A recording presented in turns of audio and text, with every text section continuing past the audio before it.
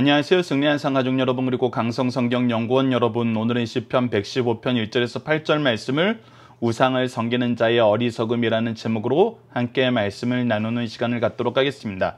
시편 115편은 이스라엘 민족이 바벨론 포로 때 지은 시로 보고 있습니다.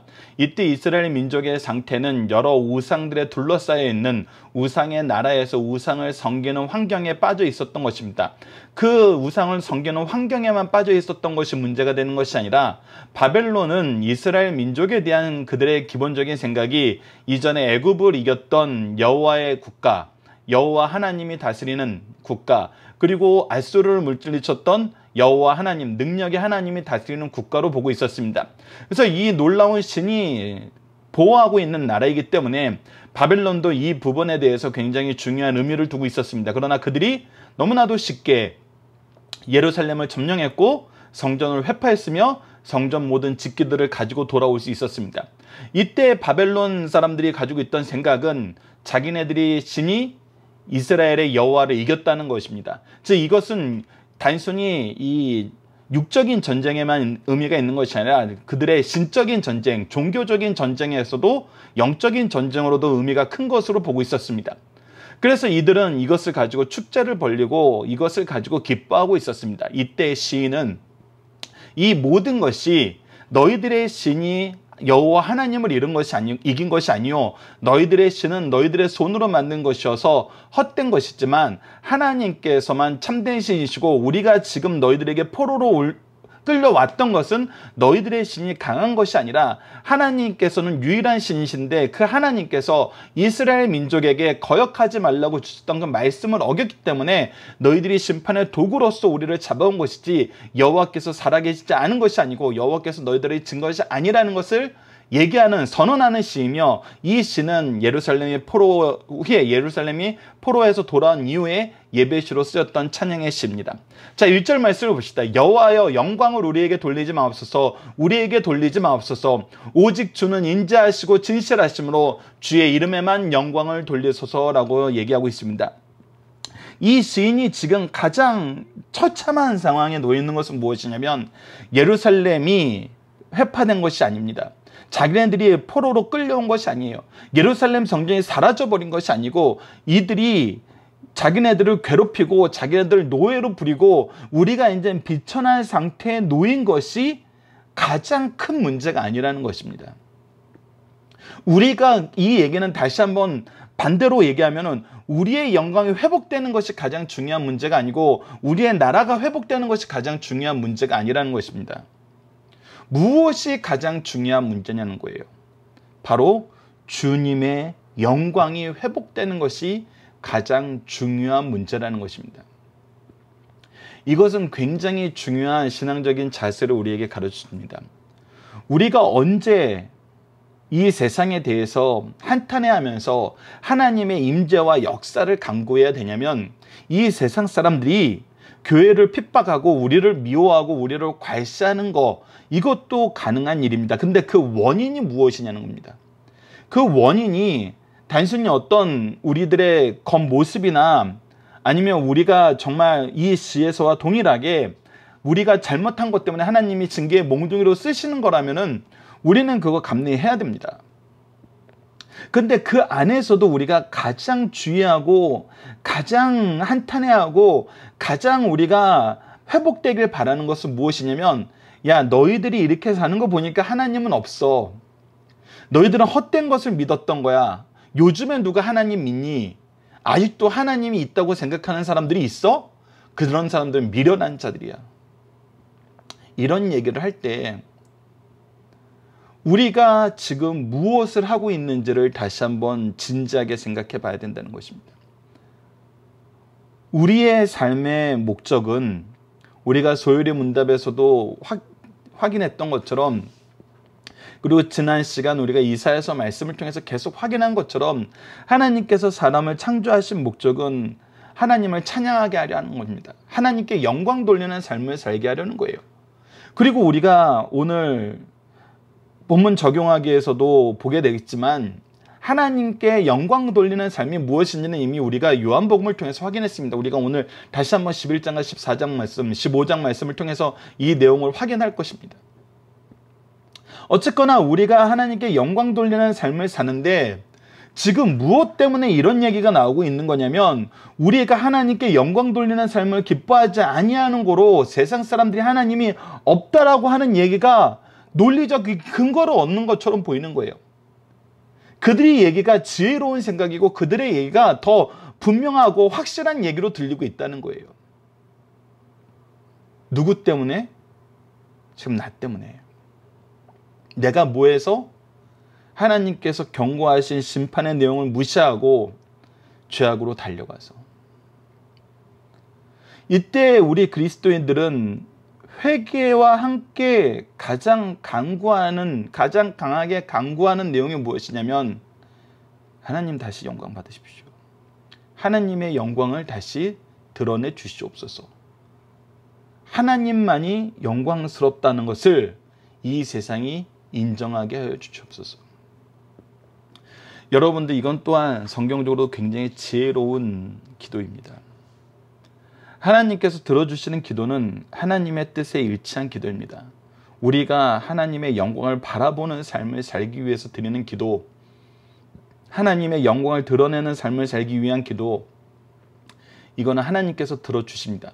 근데 우리가 하나님의 영광을 위해서 산다고 생각하고 하나님의 뜻을 위해서 산다고 생각하는데 그 부분에 대해서 우리가 디테일하게 들어가서 우리의 여러 가지 내용들을 얘기하다 보면은 가끔 우리가 헷갈릴 때가 있어요. 이것이 내 욕망으로 드리는 기도인지 아니면 정말 하나님의 공의로운 역사를 위해서 드리는 기도인지 헷갈릴 때가 있어요. 특히 나하고 연결된 어떤 관계나 어떤 상황에 대해서 얘기를 기도를 드리면은 이게 솔직히 누구도 이것을 나는 정말 이거는 하나님의 영광을 위한 일이라라고 얘기할 수 있는 사람이 적어요. 근데 가장 원론적이면서 본질적인 기도예요. 내가 어떻게 되든 내 모습이 내 뜻이 내 방법이 이루어지든 안 이루어지든 그건 중요한 게 아니라는 거예요. 오직 하나님의 영광만 있도록 거예요. 이건 굉장히 지혜로운 기도예요. 나머지는 하나님께서 다 알아서 하시는 거예요. 알아서 하실 때 우리의 기도의 응답의 방법으로 하시기 때문에 우리의 주위의 일의 역사의 능력이 나타나게 된다는 거예요. 역사적인 능력의 검증이 일어난다는 거예요. 그래서 우리가 하나님이 영광 받기를 원합니다. 하나님의 영광이 회복되기를 원합니다라는 기도는 가장 본질적이면서도 가장 단순하면서도 가장 명쾌한 기도가 된다는 것입니다. 여러분들 이 부분을 우리가 잘 기억해야 됩니다.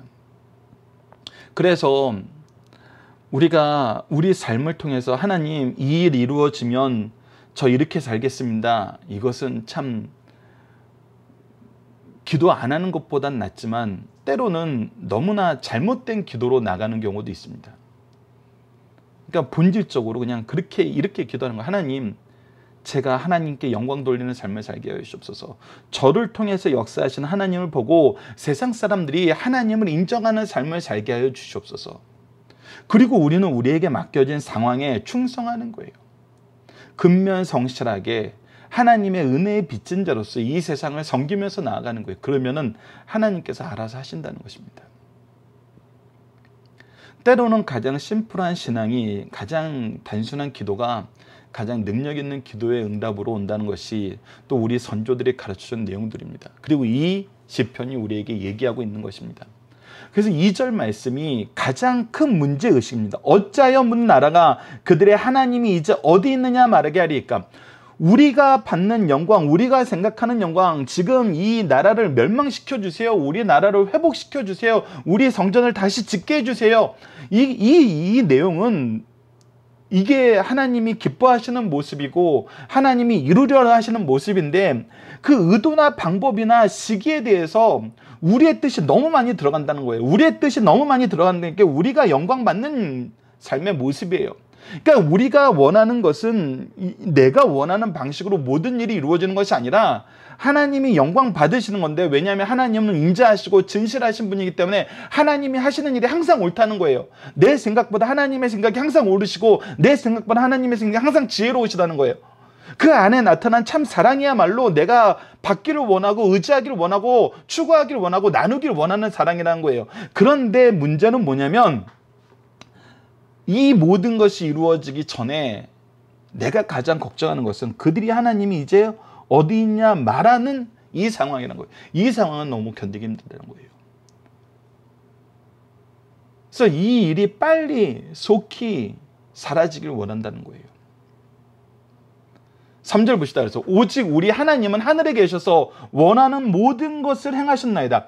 자, 여기에서 이제 이 시인이 하나님의 강구에서 선언으로 넘어가는 굉장히 중요한 내용을 얘기합니다. 그것이 무엇이냐면 실제로 행하셨다는 거예요. 행하셨다는 것입니다. 행하셨다는 것을 알 수 있는 것은 이 단순히 행하셨다는 건 무슨 일이 일어났어라는 의미가 아닙니다. 하나님께서 원하시는 것을 행하셨다는 것을 통해서 이 원하시는 것이 무엇인지 미리 알려주셨다는 것입니다. 그러니까 미리 알려주신 그 모든 것이 이루어졌다는 것입니다. 미리 알려준 것이 이루어졌어요. 그의 뜻이 이루어졌어요. 이것을 통해서 우리가 무엇을 볼 수 있냐면 역사함의 증거가 있다는 거예요. 실제로 일어난 일들이 있다는 거예요. 그리고 이 모든 일들이 미리 예고되어 있다는 거예요. 특히 이방 나라들이 생각하는 애굽에서의 구원 이거 누구에게 미리 약속했다는 거예요. 아브라함을 통해서 미리 약속했다는 것을 창세기를 통해서 우리에게 가르쳐 줬다는 거예요. 그리고 가나안 땅에 들어가서 이스라엘 민족을 향한 하나님의 축복의 말씀과 경계의 말씀이 우리가 신명기에서 분명히 확인할 수 있었다는 거예요. 그 모든 것이 이스라엘 민족의 삶이 이 말씀대로 이루어졌다는 거예요. 근데 다른 나라들은 어떠냐는 거예요. 다른 나라들이 그들의 역사가 그들이 자랑하는 역사가, 그들이 자랑하는 힘이, 그들이 자랑하는 문화가, 그들이 자랑하는 지식이 어떻게 이루어졌냐는 거예요. 미리 정하신 뜻에 의해서 이루어졌냐는 거예요. 아니면 그들이 그들 스스로 만들어졌다고 생각하느냐는 거예요. 이 두 차이가 3절과 4절에서 극명하게 나타나는 것입니다. 이스라엘의 역사는 그리스도인들의 역사는 어쩌다가 노력에 의해서 개선되고 발전해서 어떤 형태로서의 폼을 이루어서 어떤 결실을 우리가 생각하지 못한 놀라운 결실을 만들어내는 것이 아니에요. 모든 것은 하나님의 뜻에 의해서 이루어졌어요. 근데 세상 사람들이 얘기하는 것은 아무리 화려하고 아무리 멋지고 했더라도 이것이 계획된 대로 이루어지지 않았어요. 여러분은 이 세상 나라들의 흥망성쇠에 대해서 볼 때 예전에 한때 굉장히 유행했던 로마인 이야기를 보세요. 로마인 이야기를 볼 때 로마의 시조가 되는 왕조가 그들이 앞으로 우리는 이런 나라를 이런 이런 과정을 거쳐서 이렇게 만듭시다라는 청사진을 제시하고 그 청사진을 이루기 위해서 정말 최선을 다했더니 그런 나라가 됐다는 나라가 있습니까? 그 시대에 그때에 그들도 알지 못했지만 그들의 선택과 그들의 방법이 항상 주위 나라들과는 다른 모습을 띠게 되었다는 거예요. 이거는 요즘에 우리 삶 속에서 나타나잖아요. 우리도 올해 초만 해도 정말 이런 코로나 바이러스 같은 것이 마스크를 쓰는 것이 좋은 거냐 안 좋은 거냐 했을 때 이 내용이 얼마나 의견이 분분했어요. 마스크 대란도 우리가 생각해야 되고 우리가 실제로 쓸 수 있는 양도 제한돼 있고 그런 상태에서 우리가 또 너무나 극심한 이런 정신적인 스트레스나 이 불안감 조성되는 것이 오히려 사회를 혼란시킬 수 있어서 이 부분이 어떤 경우에 써도 된다, 어떤 경우에 써도 효과가 없다, 막 여러 가지 얘기가 많았잖아요. 근데 우리의 방향은 마스크를 쓰는 쪽으로 갔어요. 그랬더니 어떤 결과가 났어요. 얼마 전에 미국 CNN이 마스크를 쓴 한국과 마스크를 안 쓴 미국의 사망자 숫자를 비교해서 보여줬어요. 우리도 논란이 많고 우리도 여러 가지 여건이 있었지만 우리의 선택이 옳았다는 것은 우리가 경험한 그 이후에 나타난 결과로 평가를 받아요. 그래서 이거는 누가 계획한 것이 아니에요. 누가 원해서 이루어진 것이 아니에요. 그때그때 중요한 선택을 한 거예요. 그것이 인간의 역사예요. 근데 이스라엘의 역사, 기독교의 역사, 교회의 역사, 우리의 가문의 역사는 어쩌나는 거예요. 하나님이 원하시는 뜻 안에서 그의 약속에 의해서 그의 주권적인 역사에 의해서 그의 개입에 의해서 그의 이끄심에 의해서 이루어졌다는 거예요. 그 차이를 우리에게 얘기해 주고 있는 것입니다. 그래서 3절은 우리는 하나님이 원하시는 것을 이루시는 역사 안에서 하나님의 계획과 하나님의 동행하심과 결과를 이루심을 확인해요. 근데 세상은 어떻습니까? 4절부터 봅시다. 그들의 우산은 은과 금이요 사람의 손으로 만든 것이라. 사람이 성기지만 누가 만들었어요? 사람의 손으로 만들었어요. 여러분 이것은 현대 문명이 이제 사람의 것을 사람의 본질을 섬기는 쪽으로 진행되는 거랑 또 일맥상통해요. 예전엔 사람이 손으로 만들어서 그것이 너무나 우리가 이루기 업, 이루기 힘든 업적을 이룬 것처럼 보이게 만들어서 그 그것을 섬겼어요. 그래서 뭐 세계 몇 대 불가사의 하면서 그때 항상 이 신을 섬기는 어떤 것들이 항상 들어간 걸 볼 수 있었잖아요. 그래서 우리가 이런 놀라운 일을 이루었다 하면서 섬기는 거예요. 근데 지금은 이제 우리 모두가 이것이 익숙해졌잖아요. 사람의 손으로 이룬 그 업적을 섬기는 거예요. 그것이 우상의 모습이라는 거예요. 근데 우리가 만들었을 때에는 결국 뭐예요? 결과론적인 것이지 본질적인 것이 아니라는 거예요. 본질적이지 않았다는 것이 바로 5절에서부터 7절에 나타납니다. 그들의 입이 있어도 말하지 못하는 본질적으로 그들이 입은 가지고 있어요. 근데 말하지 못하는 입이에요. 눈이 있어도 보지 못하는 눈이에요. 귀가 있어도 듣지 못하는 귀였고 코가 있어도 냄새를 맡지 못하는 거였고 손이 있어도 만지지 못하는 거였고 발이 있어도 걷지 못하는 거였고 목구멍이 있어도 작은 소리조차 내지 못하는 것이에요. 본질적으로 그런데 결과론적으로 우리가 눈도 만들고 입도 만들고 귀도 만들고 코도 만들고 손도 만들고 발도 만들고 목소리도 있는 것처럼 만들어 버리는 거예요. 근데 이것이 우리에게 실질적으로 해준 일은 하나도 없어요. 이것은 다 누가 한 거예요? 사람이 한 거란 거예요. 근데 여러분들 이게 너무나 놀랍지 않습니까? 하나님이 어디 있느냐라는 말을 하는 사람들이 분명히 그동안 보고 경험했던 건 뭐냐면 하늘에 계셔서 원하는 모든 것을 행하시는 그 하나님의 역사였어요. 행하신 모든 것을 원하는 모든 것을 행하시는 하나님의 역사였어요. 실질적인 개입이었어요. 이것은 이스라엘 민족들 안에서 무엇으로 나타났어요? 하나님과의 교제로 나타났어요. 실질적인 동행이요 삶으로 나타났어요.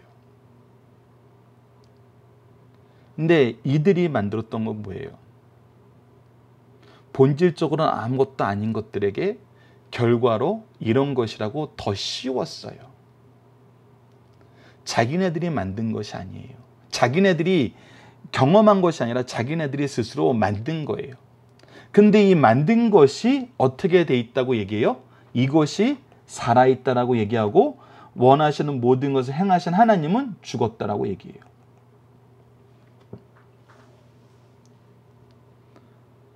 여기에서 우리가 뭘 느끼게 됩니까?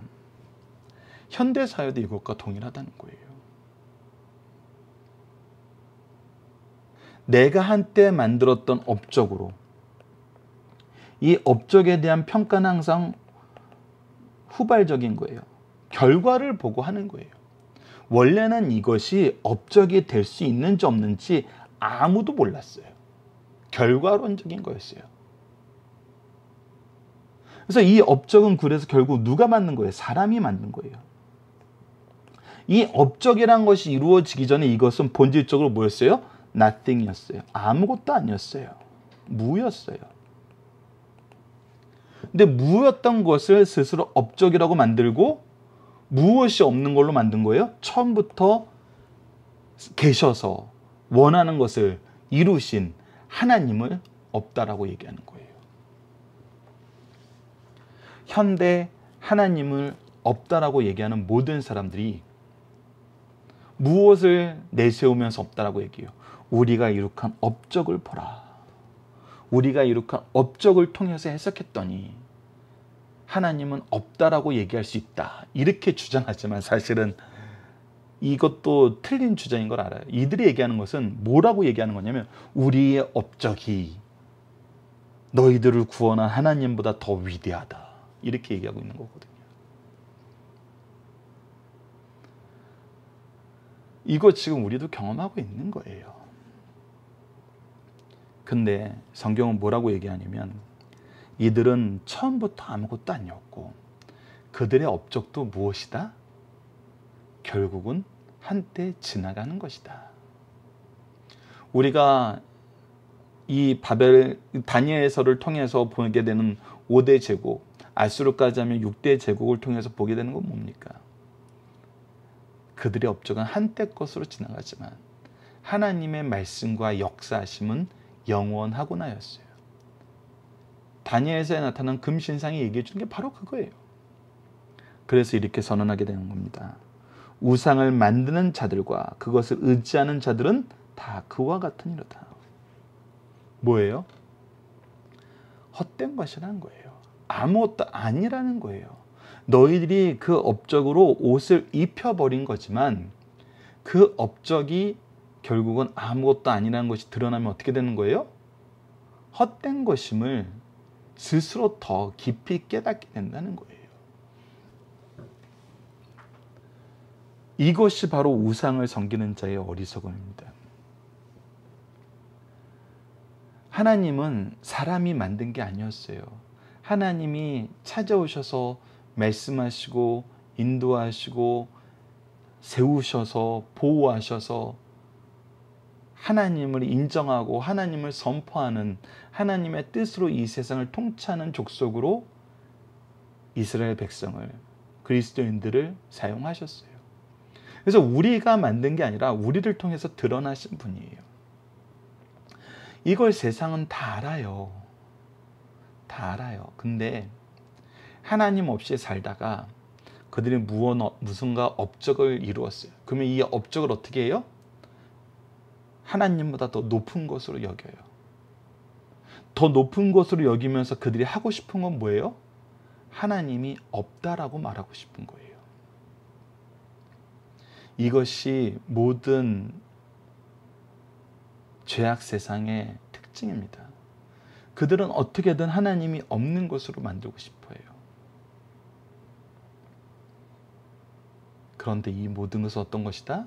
결국 헛되게 된다. 누구에 의해서 원하신 모든 것을 행하시는 하나님의 뜻에 의해서, 하나님의 역사심에 의해서. 이 또한 오늘날 다시 반복되고 있다는 것입니다. 자, 본문 묵상을 통해서 간단하게 복습을 하겠습니다. 첫 번째, 시인은 오직 누구에게만 영광이 있어야 함을 선언합니까? 바로 여호와에게만 영광이 있어야 된다는 거예요. 주의 이름에만 영광이 있어야 된다는 거예요. 이 일에 우리의 상태나 우리의 생각이나 우리의 방법은 중요하지 않아요. 우리의 뜻이 아무리 하나님을 위한다 해도 그것은 나의 뜻일 경우가 많아요. 그래서 우리 지혜로운 기도는 하나님만 영광 받으시도록 하나님의 이름만 영광 받으시도록 속히 역사하여 주시옵소서.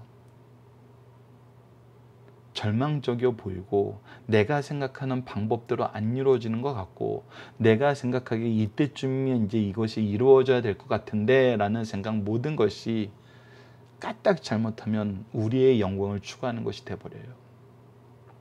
그래서 다시 한번 강조하지만 오직 하나님의 뜻만 이루어지길 기도합시다. 두 번째, 시인은 무엇을 걱정하고 무엇이 이루어지길 원합니까? 사람들이 하나님이 이제 어디 있느냐? 뭐예요? 현대적으로 얘기하면 하나님은 죽었다. 요즘에 누가 하나님을 믿느냐? 이렇게 얘기하는 것과 동일해요. 근데 무엇이 이루어져요? 하나님은 하늘에 계셔서 원하시는 모든 것을 행하신다는 거예요. 과거에도 그랬고 지금도 그러고 앞으로도 그러신다는 것입니다. 우상은 했던 것입니까? 사람의 손으로 만든 것이기 때문에 처음부터 본질이 아무것도 아닌 거였어요. 생명이 아닌 것이었어요. 관계가 아닌 거였어요. 근데 이것에 무엇이 있다라고 선언해 본 거예요? 업적을 가진 사람들이 입이 있다고 선언하고 눈이 있다고 선언하고 귀가 있다고 선언하고 코가 있다고 선언하고 손이 있다고 선언하고 발이 있다고 선언하고 목구멍이 있다라고 선언했는데 뭐예요? 말도 못하고 보지도 못하고 듣지도 못하고 냄새 맡지도 못하고 만지지도 못하고 걷지도 못하고 말도 못해요. 헛된 것이란 겁니다. 그들의 업적으로 만든 신은 그들이 업, 자신들의 업적을 섬기는 것은 미련한 짓이라는 거예요. 여러분들 현대 사회가 얼마나 업적을 섬기길 원합니까? 업적에 편승되기도 원하고 업적을 자기도 이루는 마음으로 그 업적을 섬기기도 하잖아요. 이 모든 거 다 헛된 것입니다. 본문의 중심 사상을 봅시다. 남조 유다는 바벨론 포로로 끌려가 세상에서 가장 강력한 국가의 국민들이 섬기는 웅대한 우상들의 숲속에 묻히게 되었습니다. 바벨론 사람들은 그들의 군사적 승리에 들떠 있을 뿐 아니라 예루살렘에 있는 성전을 점령하고 여호와 하나님을 섬기는 성전에서 성구들을 탈취하였어요. 그리고 제사장들을 끌고 와서 바벨론의 신이 여호와를 이겼다고 외치며 그들의 우상 앞에 축제 분위기에 들떠 있었습니다. 그들에게 이스라엘 신은 과거 애굽을 격파하고 전쟁에 능하신 신이었으나 이제 그 신이 죽 었거나 바벨론 신 앞에 무력한 신이 되었다고 외쳤어요. 이제 지상의 국가 중 최고의 국가는 바벨론이요 신 중의 신도 그들의 신이라고 자부심을 갖게 되었습니다.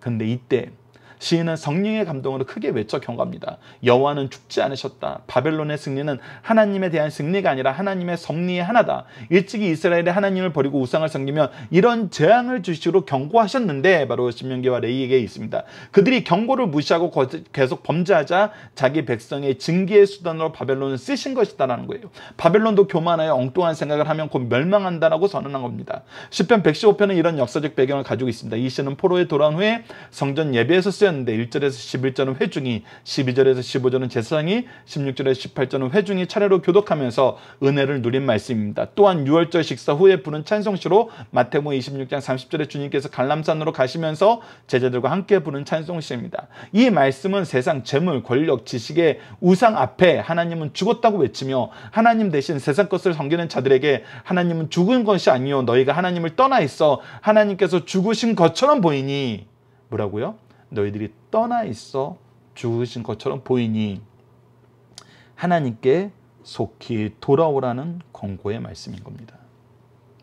속히 돌아오라는 거예요.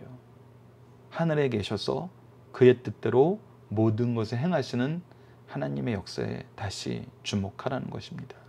10편 115편은 내부분으로 나눌 수 있습니다. 1절에서 8절 오늘 본문 말씀은 그를 영화롭게 하라입니다. 9절에서 11절은 하나님은 우리를 도우신다. 그를 의지하라입니다. 12절로 16절은 하나님은 우리를 축복하신다. 그를 경외하라입니다. 17절에서 18절은 하나님은 존귀하신 분이시다. 그를 찬양하라입니다.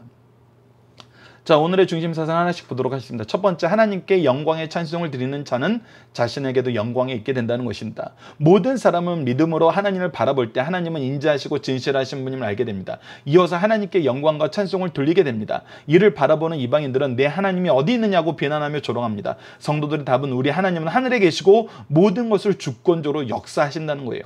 하나님께 영광을 돌리는 자는 영광받고 영광 중에 살게 되며 하나님이 어디 있느냐고 조롱하는 자는 반드시 심판을 받게 됩니다. 됩니다. 두 번째 우상의 허구성을 볼 수 있는 자는 하나님을 섬기라는 것입니다. 우상은 사람의 손으로 만든 것입니다. 사람의 손으로 만든 것은 공예품이지 신뢰될 수 없고 되어서는 안 됩니다. 사도행전 19장 26절에 바울이 이렇게 설교했습니다. 이 바울이 예배소뿐 아니라 거의 전 아시아를 통하여 수많은 사람들을 권유하여 말하되 사람의 손으로 만든 것은 신이 아니라 하니 이는 그대들도 보고 들은 것이라 라고 얘기했습니다. 우상은 무생물입니다. 형상뿐이요. 무엇을 할 수 있는 것도 아니요. 인간이 만들어 놓은 대로 존재하는 것입니다. 즉 인간의 업적이라는 것입니다. 우리는 업적을 추구하고 살고 업적을 바라보고 살고 업적을 신으로 모시고 살아요. 인간 세상에 지금 하나님 외에 섬기는 모든 것이 바로 그렇잖아요. 업적이 있는 것을 섬기지 업적이 없는 것을 섬기니까 우리가 그 업적은 누가 만든 것입니까? 인간이 만든 거잖아요. 그러니까 우리가 만든 것을 우리가 섬기고 있다는 거예요. 지금은 그것이 지혜로운 것으로 생각돼요. 과학을 만들고 과학을 섬기는 것이 지혜로운 삶이라고 얘기하잖아요. 자본주의를 만들고 돈을 추구하는 것이 지혜로운 것이고 돈을 섬기는 것이 지혜로운 것이라고 얘기하고 살잖아요. 그런데 성경은 뭐라고 얘기합니까? 우상을 섬기는 것은 인간으로 어리석은 짓이요 하나님께 범죄가 되는 행위라는 거예요. 하나님이 주신 축복을 잘 사용하는 것과 우상화하여 섬기는 것의 차이를 우리가 알아야 됩니다. 은혜를 소유하고자 하면은 우상화하게 됩니다. 은혜를 하나님 뜻대로 섬기면은 은혜의 통로가 된다는 거 우리는 이미 알고 있습니다. 세 번째 우상을 만드는 것과 섬기는 것은 같은 종류의 범죄 행위라는 겁니다. 우상을 만드는 행위가 예술적인 행위라 아름다운 일입니다. 그러나 우상을 섬김의 대상으로 만드는 것은 어리석은 짓입니다. 근데 우상이란 말 자체가 뭐예요? 섬기기 위해서 만들었다는 거예요.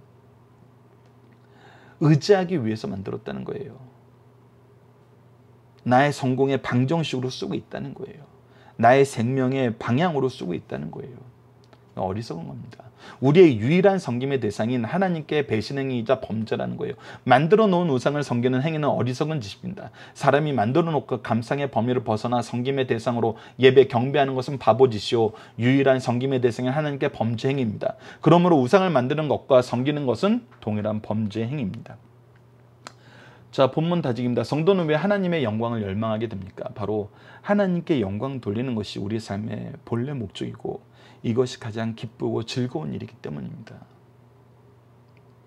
그리고 우리가 하나님의 영광 외에 다른 것을 바랄 때에는 그리고 하나님께 영광 돌리는 것을 우리 방식대로 여길 때에는 우린 죄악의 길로 가기 굉장히 쉽습니다. 이 부분은 우리가 적용하기 위해서 보도록 하겠습니다. 두 번째, 내 하나님이 어디 있냐는 질문에 대한 대답은 무엇입니까? 하나님은 영이시기 때문에 보이시지 않지만 하늘에 계신다는 것입니다. 그리고 그는 그의 뜻대로 모든 것을 이루시는 분이라는 겁니다. 그 증거가 바로 우리들이란 거예요. 우리가 지금 연약한 가운데 있어서 너희들에게 포로가 되었지만 이것이 무엇이다? 하나님이 우리에게 하신 말씀의 성취다. 그의 뜻의 성취다라는 거예요. 그리고 그는 약속하신 대로 우리를 다시 회복시키신다는 것입니다. 그래서 지금 현재 너희들이 순간적으로 너희들의 강함을 자랑하지 말고 하나님의 뜻을 보라는 것입니다. 자, 본문 적용입니다. 하나님 무엇으로 기뻐하시면 우리는 어떻게 하나님께 영광 돌리나요? 여러분들 예, 교재 14장으로 잘못 적혔는데 11장입니다. 우리가 요한복음 볼 때 이미 확인했던 것이죠. 11장 40절로 45절에 이렇게 기록되어 있습니다. 예수께서 이르실 때 내 말이 내가 믿으면 하나님의 영광을 보리라 하지 아니하였느냐. 그 영광을 보여 하나님의 영광을 보리라는데 그 하나님의 영광이 뭐리라는 거예요. 자 봅시다. 돌을 옮겨 놓으니 예수께서 눈을 들어 우러러 보시고 이르시되 아버지여 내 말을 들으신 것을 감사합니다. 항상 내 말을 들으시는 줄 내가 아는 나이다. 그러나 이 말씀을 하옵는 것은 둘러싼 무리를 위함이니 무리가 뭘 보기 원한 거예요? 하나님의 영광을 보기 위한 거예요. 곧 아버지께서 나를 보내신 것을 그들로 믿게 하려 함이니다. 그래서 하나님의 영광을 보는 것은 무엇이냐면 바로 예수 그리스도를 믿는 거예요. 이 말씀을 하시고 큰 소리로 나사로라 나오라 부르시니 죽은 자가 수족을 배로 동인 채로 나오는데 그 얼굴이 수건에 쌓였더라 예수께서 이르되 풀어놓아 다니게 하라 하시니 마리아가 와서 예수께 하신 일을 본 많은 미, 유대인들이 그를 믿으니라. 자, 하나님의 영광을 보여준다 그랬어요. 그리고 그것을 보여줬는데 그 영광 하나님이 영광 받으신 일이 무엇이냐면 아버지를가 보낸 예수 그리스도를 믿는 거였어요. 그를 통해서 무엇이 있음을 보는 거예요? 부활이 있음을 보는 거예요. 생명이 있음을 보는 거예요. 하나님의 역사가 이루어짐을 보는 거예요. 하나님의 기쁘신 뜻이 바로 예수 그리스도를 믿음으로 하나님과 하나 되는 거라고 합니다. 이것이 바로 하나님께서 기뻐하시는 거예요. 그러니까 우리가 하나님께 영광이 있길 원합니다 라고 했을 때 우리가 원하는 영광은 무엇이냐면 우리가 우리를 통해서 선포된 예수 그리스도를 믿어서 예수 그리스도를 통해서 하나님을 아바 아버지라 부르게 되고 그의 백성으로서 하나님의 복음의 은총 안에 살게 되는 거예요. 그래서 15장 4절로 8절에 이렇게 기록되어 있습니다. 내 안에 거하라 나도 너희 안에 거리라 가지가 포도나무에 붙어, 붙어 있지 아니하면 스스로 열매를 맺을 수 없는 것 같이 너희도 내 안에 있지 아니하면 그러하리라 나는 포도나무여 너희는 가지라 그가 내 안에 내가 그 안에 거하면 사람이 열매를 많이 맺나니 너희가 나를 떠나서는 아무것도 할 수 없습니다. 그래서 예수 그리스도 안에서 우리가 열매를 많이 맺는 삶을 살게 되는 거예요. 사람이 내 안에 거하지 않고 가지처럼 밖에 벌어져 마느니 사람들이 그것을 모아다가 불에 던져 사느니라 너희가 내 안에 거하고 내 말이 너희 안에 거하면 무엇이든지 원하는 대로 구하라 그리하면 이루리라 너희가 열매를 많이 맺으면 내 아버지께서 영광을 받을 것이요 너희가 내 제자가 되리라 그래서 하나님께서 영광 받으신 일이 예수 그리스도를 믿는 것인데 그 예수 그리스도를 믿는 믿음으로 말미암아 우리가 무엇을 하게 되냐면 열매를 맺게 돼요. 그리고 예수 그리스도의 제자가 되게 돼요. 이것이 바로 복음의 확장이죠. 그래서 우리가 하나님 영광 받으소서라고 하면은 우리는 어떤 삶을 살기를 원하는 거냐면 하나님을 믿는 믿음의 역사, 예수 그리스도를 구주로 시인하는 고백의 역사, 바로 성령의 역사가 있기를 바라는 삶을 사는 것입니다. 그래서 이것이 시편 115편이 구약에서는 하나님의 역사를 주목하는데 이 시의 내용이 쓰였지만 우리가 신약의 내용과 연결해서 보게 되면 이것이 무엇이 되냐면 이 시를 선언하여서 듣는 바벨론 민족에게도 무엇이 있기를 원하는 거예요. 하나님의 영광이 이 땅에 나타나는 것은 우리가 단순히 하나님께 회복되어서 예루살렘으로 돌아가는 것만 얘기하는 것이 아니에요. 모든 민족이 같이 돌아가는 거예요. 우리는 그것을 알아야 돼요. 그래서 세상은 우리에게 복수의 대상이 아니에요. 우리를 그렇게 괴롭히고 하나님은 죽었다라고 얘기하는 이 미련한 놈들 너희들 나중에 이제 큰 코 다친다 이게, 이게 아니에요. 우리가 지금 선언하는 이 하나님의 통치에 대한 말씀은 하나님의 역사가 이루어질 때 이들의 손을 잡고 하나님께로 같이 가게 하기 위한 거예요. 예수 그리스도를 믿게 하고 예수 그리스도를 소개하여서 그들로 예수 그리스도를 인정하게 하는 거예요. 그것이 우리가 하나님께 영광 돌리는 삶이라는 것입니다. 이번 주 공동 기도 제목은 성경을 통해 하나님의 인도하심을 통해 참된 지혜와 어리석음을 구별하게 하여 주소서입니다. 오늘 말씀을 통해서는 행하신 모든 일을 통해 영광 받으시기 합당하신 하나님을 찬양하는 삶을 살게 하여 주소서. 하나님의 일, 복음 사역에 쓰임 받음으로써 하나님께 영광 돌리고 하나님의 영광에 동참하는 삶을 살게 하여 주시도록 기도하는 우리 승리한 상 가족 여러분들, 강성 성경 연구원 여러분을 내기 기도합니다. 감사합니다.